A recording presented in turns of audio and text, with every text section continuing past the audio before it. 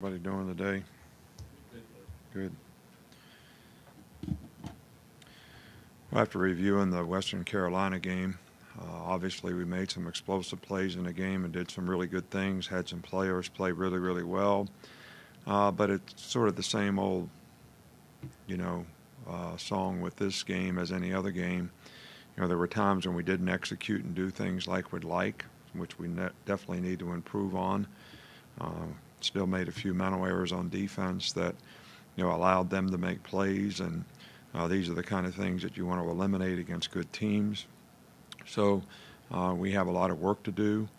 Um, you know, I think you know this this the Iron Bowl is you know one of the great rivalries in college football. If you're a competitor, you love to play in games like to like this game this week and uh, playing against a really good team. Um, and you know maybe as it should be you know a lot comes down to this game. Um, it's kind of a season within a season so to speak. Um, and I think if you have to explain that to your team or your players they don't really know what's going on in football. So um, I think the key to the drill is great preparation, great practice, really doing a good job of preparing in the game because uh, we've seen all year long that you know, when we do that, we play well. When we don't, uh, we don't do as well. Uh, injuries uh, for our team, uh, a couple guys, uh, Ruggs and uh, Phil Mathis will start back to practice today and still be evaluated day to day. Raekwon is still day to day, and Will Reichard is still out as far as um, you know this game is concerned. You know, I think Auburn has an outstanding team. Um, you know, they have some very impressive wins over top 10 teams, uh, top 20 teams. The only teams they've lost to is, you know, some teams that were ranked in the top 10. So uh, they've been very competitive and played really well, you know, in all those games. I think their defense is, you know, one of the best defensive teams in the country, probably anchored by, you know, two really good players up front. You know, Derrick Brown and Marlon, you know, are both really, really good players. And, um, have been difficult for people to block all season long, but they play great team defense. They play with a lot of toughness. Um, you know, so this is going to be a real challenge, you know, for us. You know, offensively, they've been very effective uh, creating balance. I think Bo Nix has done a really good job of doing that for them. They're very effective running the football. They've got really good skill guys outside.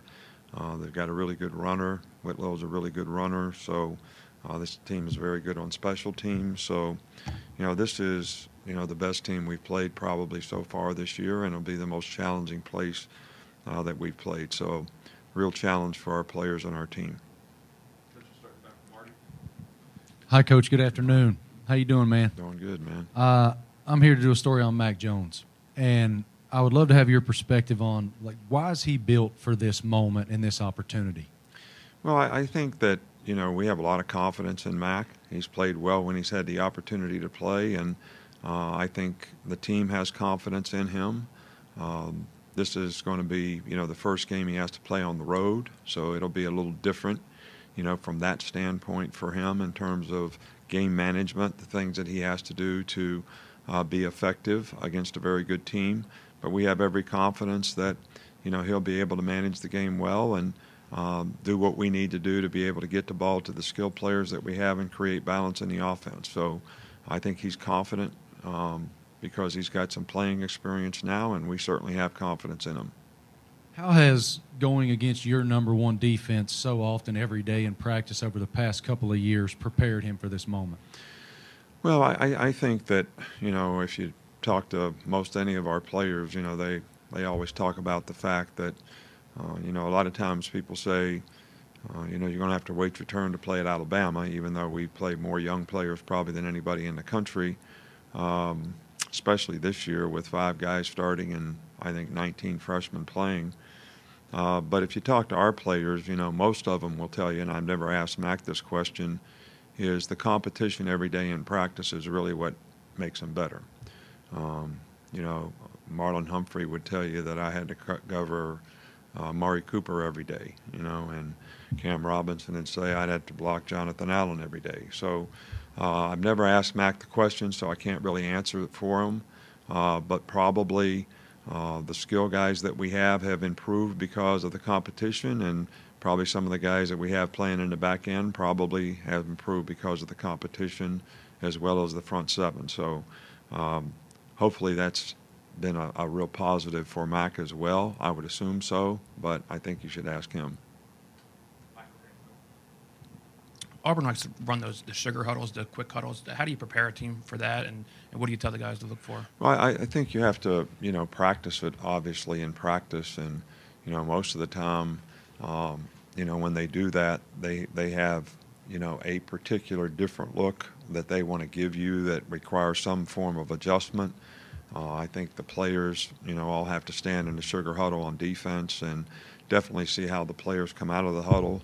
You know, a lot of times they'll be tackle over unbalanced or some unusual type formation, uh, and then they want to quick snap the ball so you have a minimal amount of time to, you know, get ready for it. So I think the only way you can prepare for it is do it in practice so the players can anticipate to some degree what they might see, uh, and that's that's what we'll need to do this week.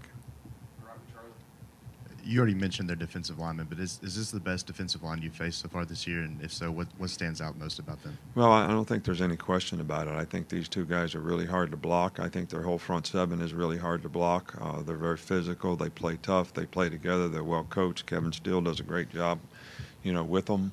Um, so they're tied together well. So, you know, you're going to have to finish blocks, and um, we're going to have to play well together as a team to get a hat on a hat. And um, you know, same thing in the in the, the pass game. You know, it doesn't matter whether it's a run or a pass; those guys are pretty dominant players. So, um, th- this this is the most challenging front uh, that we played this year.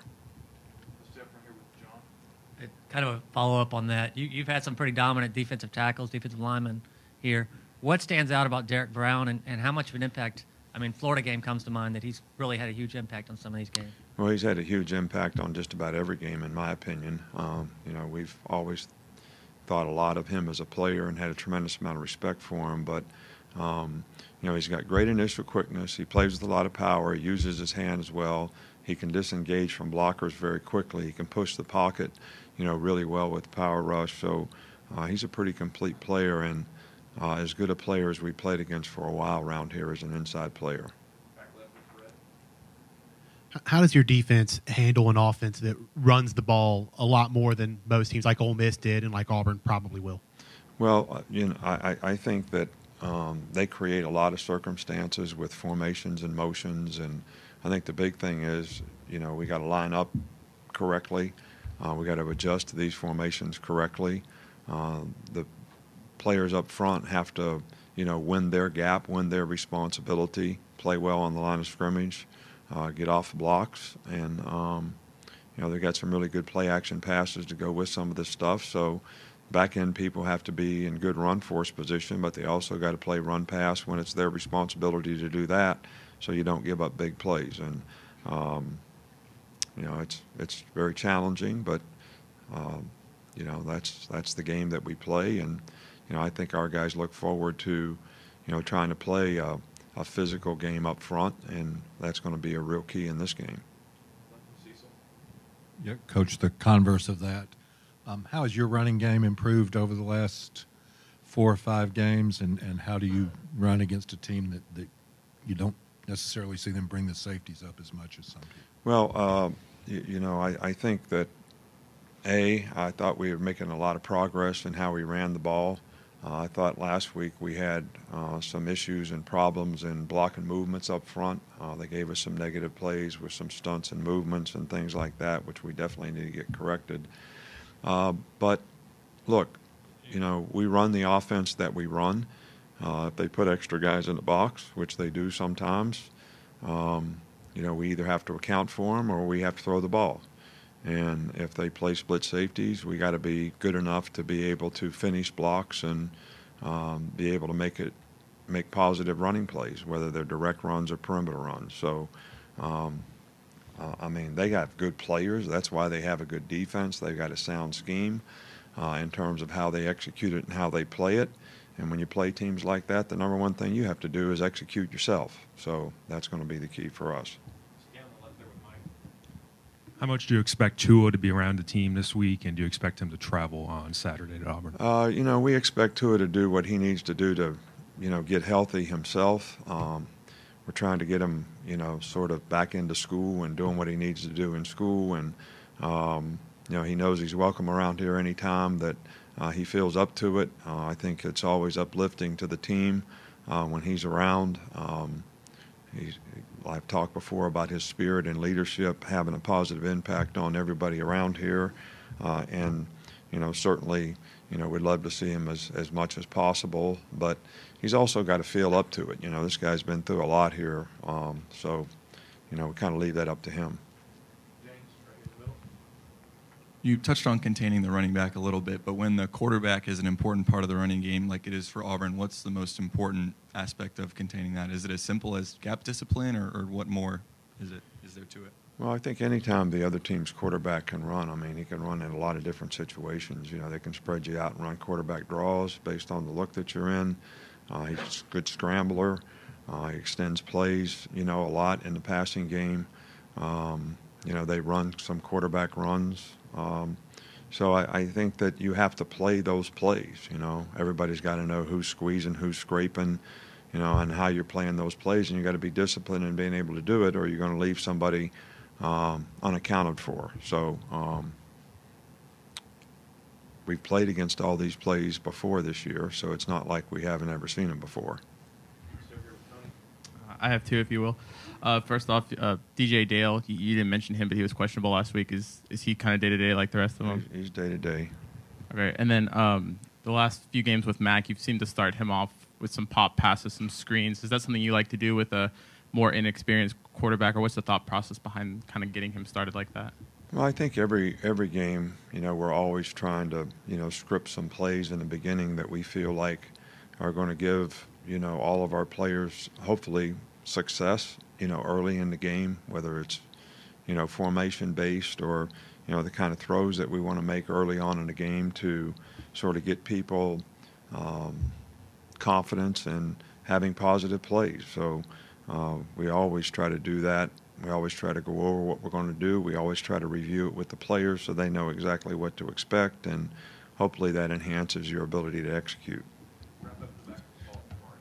Coach, I know you said to, to Mac, hey, man, you're not a sparring partner anymore. Here's the keys. You're driving this thing now. From your perspective as the leader of the program, what's the psychological shift that comes with that for a player and specifically for him? Well, I, I just think that, um, you know, you have to accept the responsibility and the role. You have to be confident in your ability in that role, and your body language uh, has to you know, sort of express that to the players that you're playing again with. Um, so uh, I think all three of those things are probably critical factors in being able to do that. Positive body language is really important. Uh, everybody's striving to be perfect. Nobody really can be. Somewhere along the line, you want to hit on exceptional, um, and that, that that's kind of what we try to get our players to do. But when it doesn't go the way you'd like for it to go, uh, we got to focus on the next play. We got to learn from that play, and I think that's really important for the quarterback not to get, you know, at all frustrated about the circumstance and continue to focus on the next play. And his teammates need to see that and have confidence in that ability, confidence in his ability to do that as well. All right, thank you.